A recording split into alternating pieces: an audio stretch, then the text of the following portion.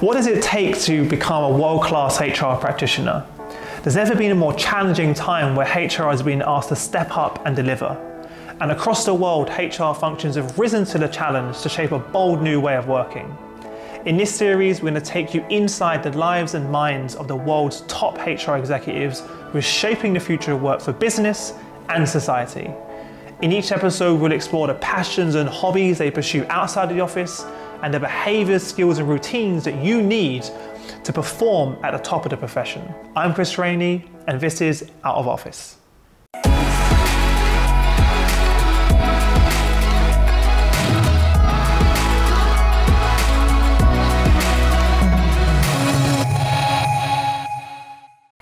As you can probably already realise by the sign behind me, today we're in Milton Keynes at DHL Supply Chain to meet our good friend Lindsay Bridges, who's a Senior Vice President of HR for UK and Ireland.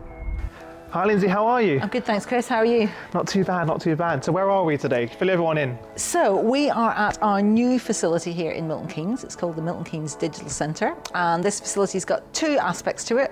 One is our warehouse operation, where we do a lot of servicing for technology customers and some servicing for our own. Um, internal technology that we use. Uh, and this building, or bit of the building that we're in now, is our HR Shared Service Centre. We call that People Services. Nice. And have you, have you just got back then?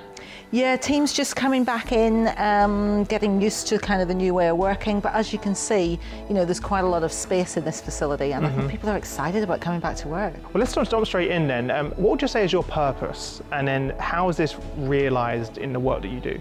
It's come to me more recently around purpose, being very much about making sure people can bring their authentic selves to work every day. Mm-hmm. And uh, for me, that means being very open and honest about what I am and what I'm thinking and um, and encouraging others to do the same and particularly doing that through our D&I agenda and really encouraging people to be as, as open as they can feel comfortable being and even push the bounds of that comfortableness mm-hmm. in terms of bringing themselves to work. Well on that point then you took it as far as actually starting your own show, your own podcast which is really cool. Tell everyone about that.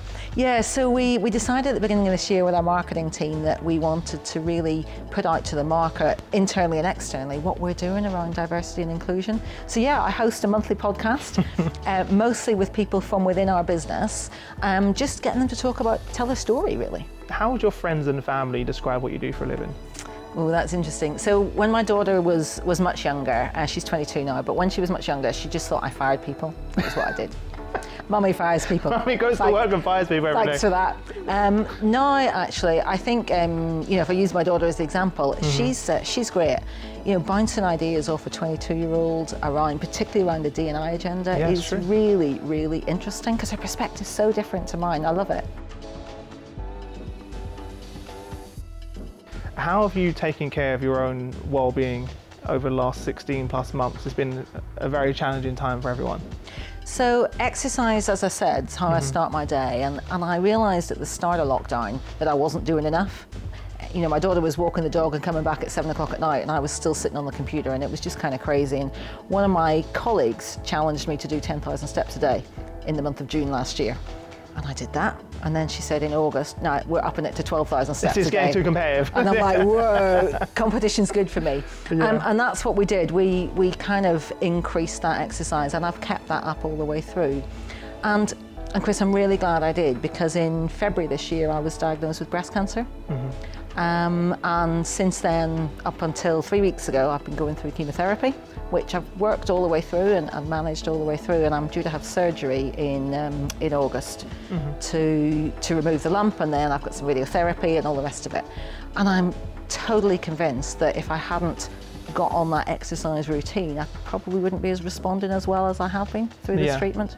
You seem, first of all, sorry to hear that, but secondly, you seem very positive and upbeat. And I know you've you've made a, a, conscious effort to share this with the team as well, right? Yeah, I've been very open about the cancer yes. diagnosis because people don't talk about it, no. and they should. Mm-hmm.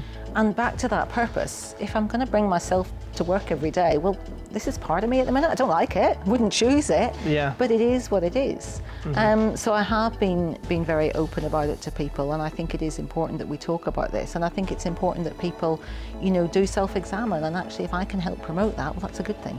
And you mentioned to me as well, there are a number of colleagues that reach out to you during this time that have been through similar experiences yeah. as well.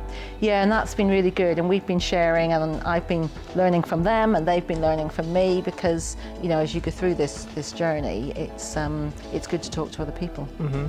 Has it made you also reflect as a, as, as a HR leader on your healthcare that you provide to employees as well? Yeah, it's interesting. A couple of years ago, we improved some of the healthcare benefits around cancer care specifically, and mm-hmm. I'm really very grateful for that personally. Yeah. Right now, I can see the value of it. But I think our biggest challenge is promoting those mm-hmm. healthcare benefits to people. We take it for granted sometimes, don't we? We do, or we don't even know what's We don't there. know what, what we got. Exactly, and, mm-hmm. and promoting that out is, is a real challenge to us. What would you say is a common misconception people have about you? People think I'm a workaholic. I think they're right. definitely not.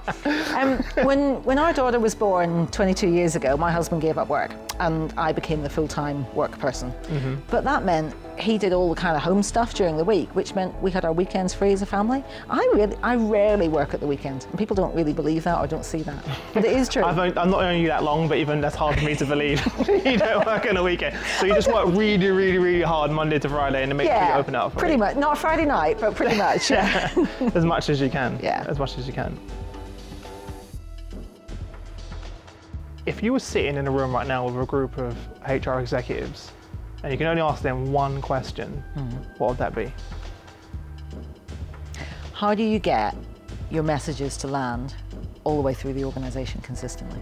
Ooh. It's a huge frustration to me. You get so far, mm. and then it gets. What layer do you think is the difficult, the most difficult to so in our engage? in our business, I think we can get down to our, our site leaders, our general manager yeah. for our sites, and then I think it becomes quite quite challenging to get through maybe two or three management layers to every warehouse colleague, to every driver that we have drivers in particular, because they don't routinely come together. So to, to get yeah. Yeah. Mm-hmm. Well, I suppose technology is one part of it, but it's definitely not the only answer yeah. as well. So, well, we'll leave that for everyone else listening as well. Absolutely. Everyone's got the answer. I want to hear it. Yeah, I'm sure. I'm sure. I'm sure they're thinking, mm, yeah, exactly the same.